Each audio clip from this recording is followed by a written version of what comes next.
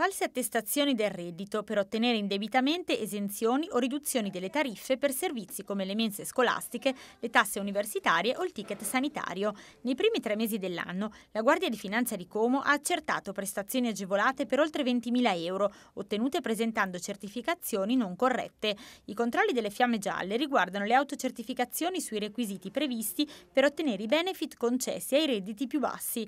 La Guardia di Finanza, incrociando le informazioni di diverse banche dati, ha scoperto false dichiarazioni che hanno permesso a cittadini che non ne avevano diritto di ottenere le agevolazioni sui servizi sanitari e scolastici e sugli affitti. Tra le situazioni più estreme, le fiamme gialle hanno scoperto casi in cui il reddito accertato è risultato il doppio di quello dichiarato nella domanda di agevolazione, ma anche la mancata dichiarazione di una seconda casa o addirittura di persone con un reddito che fanno parte del nucleo familiare. Le somme ottenute indebitamente dovranno essere restituite e sono previste inoltre sanzioni amministrative da 5.000 a 25.000 5.000 euro per ogni beneficio ricevuto senza averne diritto. Il denaro recuperato viene poi messo a disposizione di chi ne ha realmente diritto.